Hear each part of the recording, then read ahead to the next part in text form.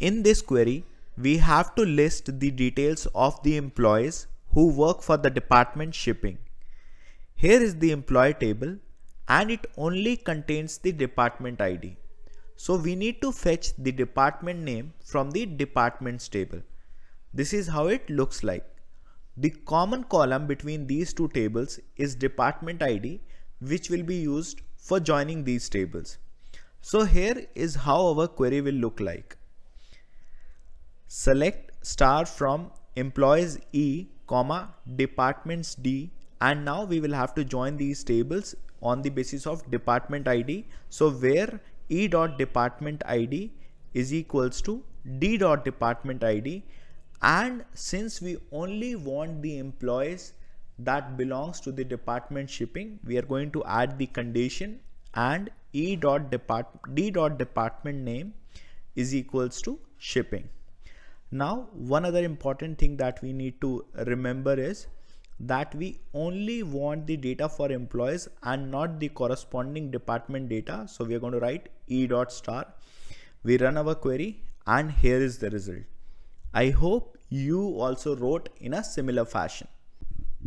For our second query we want to select the details of oldest working employees of the department there are multiple ways to write this query and I'm going to use analytical function lead to solve it. If you need more help in understanding analytical functions, I have a specific video for it. I will post its link in the description section.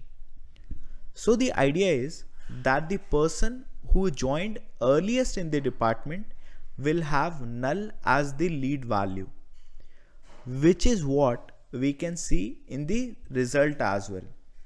Now all we need to do is filter the records where earlier employee ID, the alias for lead function is null and here we have the final records.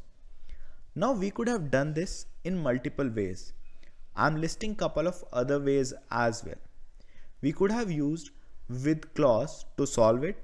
We just need to paste the inner query give it an alias and use the same where condition to filter the records with no lead value.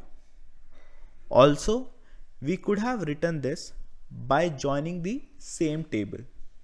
First, we will identify the minimum hire date for each department and then we will use the minimum hire date and department ID to join it with our original employee table.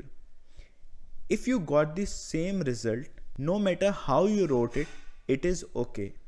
Some queries may perform better than the others, but we are not going to worry about it at this moment. In this question, we have to find employees with the second highest salary in their respective department.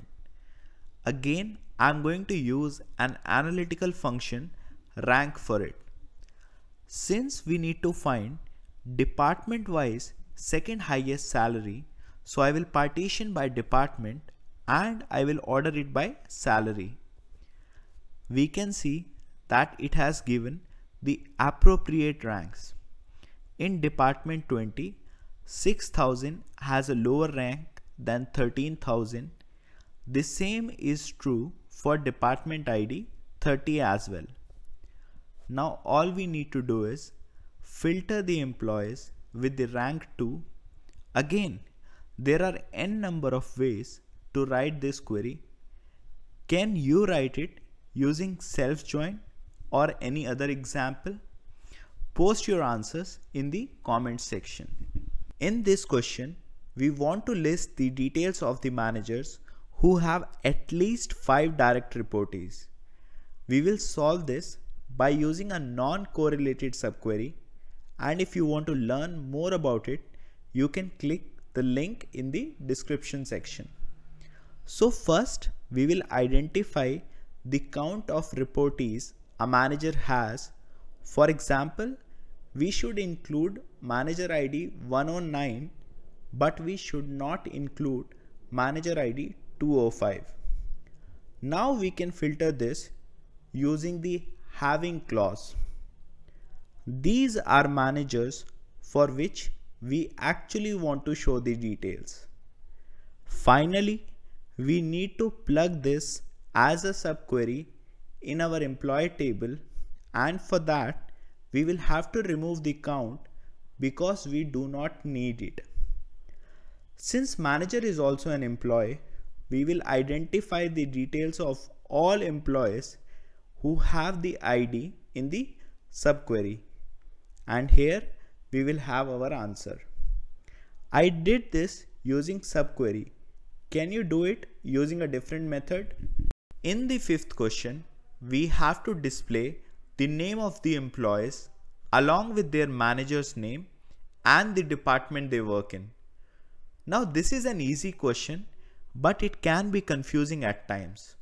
Also, I wanted to show a small but important thing with this question.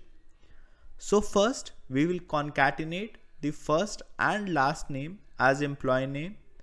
Now in order to fetch the manager's name, we will have to do a self join with the employee table. And we will use the concatenated name from M as the manager's name. Because we are joining the manager ID of the first table with the employee ID of the second table. So the second table is providing the employee details of the manager. Now we see details of 106 employees here, but our original table has 107 employees. This is because Steven does not have a manager and since we are using inner join, his record is getting dropped. So instead, we will have to use left outer join and then we will get our 107 rows. Also let me correct the second name as manager's name and add the department ID of the employee as well. Now all we need to do is join this with the department table to get the department's name and we will use with clause to do it.